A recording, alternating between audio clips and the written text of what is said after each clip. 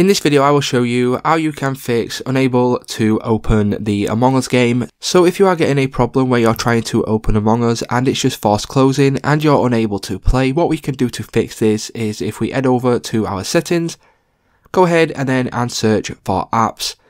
And then once we get the app screen, click on this right here. And then what you want to do now is you want to scroll down until you find Among Us.